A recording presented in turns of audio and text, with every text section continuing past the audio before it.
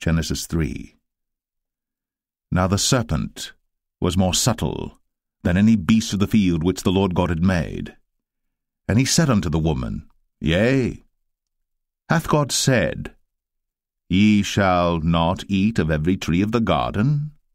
And the woman said unto the serpent, We may eat of the fruit of the trees of the garden. But of the fruit of the tree which is in the midst of the garden, God hath said, Ye shall not eat of it, neither shall ye touch it, lest ye die. And the serpent said unto the woman, Ye shall not surely die.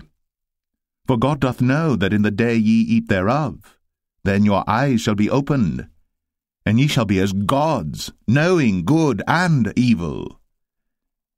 And when the woman saw that the tree was good for food, and that it was pleasant to the eyes, and a tree to be desired to make one wise, she took of the fruit thereof, and did eat, and gave also unto her husband with her, and he did eat.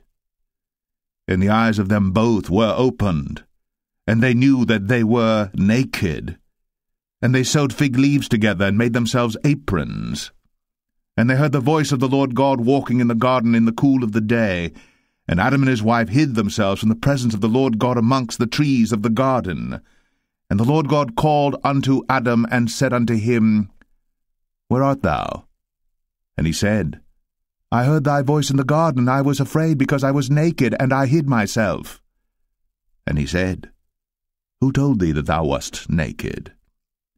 Hast thou eaten of the tree whereof I commanded thee that thou shouldest not eat?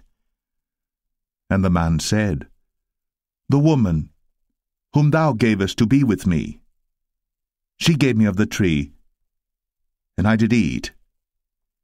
And the Lord God said unto the woman, What is this that thou hast done? And the woman said, The serpent beguiled me, and I did eat. And the Lord God said unto the serpent, Because thou hast done this, thou art cursed above all cattle, and above every beast of the field. Upon thy belly shalt thou go, and dust shalt thou eat all the days of thy life. And I will put enmity between thee and the woman, and between thy seed and her seed. It shall bruise thy head, and thou shalt bruise his heel. Unto the woman he said, I will greatly multiply thy sorrow, and thy conception. In sorrow thou shalt bring forth children, and thy desire shall be to thy husband, and he shall rule over thee.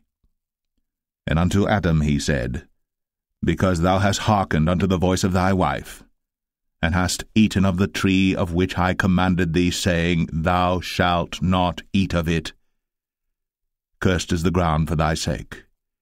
In sorrow shalt thou eat of it all the days of thy life. Thorns also, and thistles shall it bring forth to thee, and thou shalt eat the herb of the field.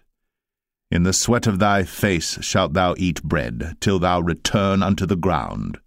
For out of it wast thou taken, for dust thou art, and unto dust shalt thou return. And Adam called his wife's name Eve, because she was the mother of all living. Unto Adam also and to his wife did the Lord God make coats of skins, and clothed them. And the Lord God said, Behold, the man is become as one of us, to know good and evil. And now, lest he put forth his hand, and take also of the tree of life, and eat, and live for ever. Therefore the Lord God sent him forth from the Garden of Eden, to till the ground from whence he was taken.